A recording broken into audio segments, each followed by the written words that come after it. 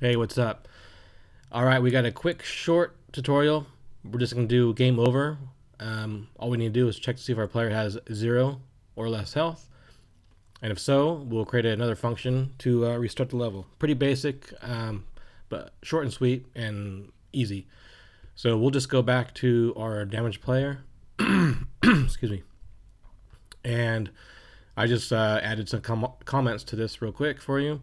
But basically, we're going to check and each time there's a collision with enemy dong, the tag enemy dong, we're going to subtract 10 damage, and then if uh, our player reaches zero, uh, then game over, man.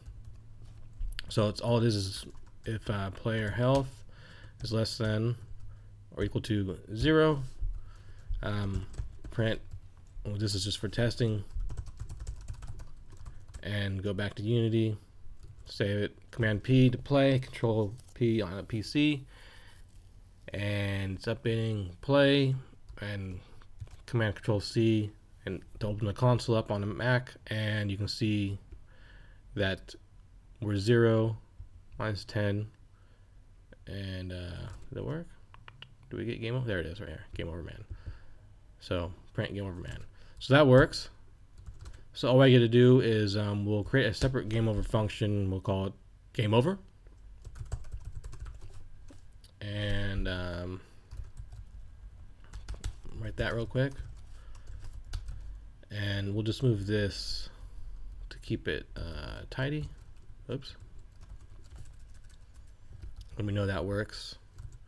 And all we'll do is um, very simple, very basic. Um, re just reload the level. Uh, level, sorry load level and it's uh, application loaded level. So we're just saying application load level. Okay, what level we're gonna load? Well, we're gonna load application loaded level. So that's the current level. So that should work. And play, see what happens. 30, and look at, see, so there you go. There's no delay or anything but you can tell it's working. And we'll just get rid of that real quick. See if we can survive for a little bit. He's chasing. Uh, uh, uh, uh. Oh. Yeah, so there you go. And that's it. That's how you do a quick uh, game over. Reload the level. He's a strong little dude, isn't he? Anyways, I hope that helps. Um, thanks for watching. Any questions, leave in the comments rate, review, and subscribe, etc., etc. Thanks for watching. See ya!